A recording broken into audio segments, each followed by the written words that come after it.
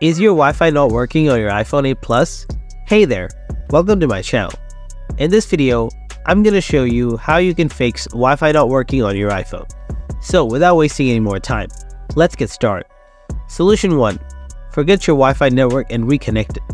Go to settings, scroll down, tap Wi-Fi, now tap the eye icon, then tap forget this network. After that, tap forget and reconnect again. Solution 2 Turn off screen time.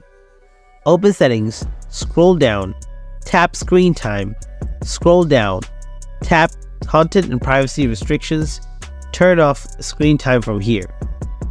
If you still have the issues, then follow the next solution. Solution 3. Change DNS for your Wi-Fi.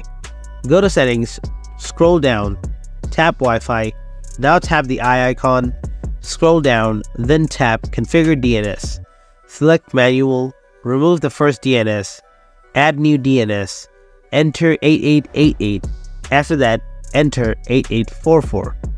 Now tap save. Check this issue whether it's solved or not. Solution 4. Reset network settings. Open settings, scroll down, tap general, scroll down. Now tap transfer reset iPhone. Now tap reset. After that, tap Reset Network Settings.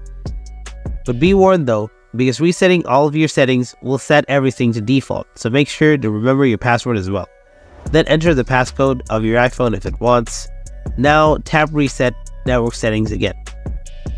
So, this is how you can fix Wi-Fi not working problem on your iPhone issue. Hope you found this video helpful. If you did, then give it a thumbs up and don't forget to subscribe to our channel. If you have any kind of questions, then please write them in the comment section below. Thanks for watching.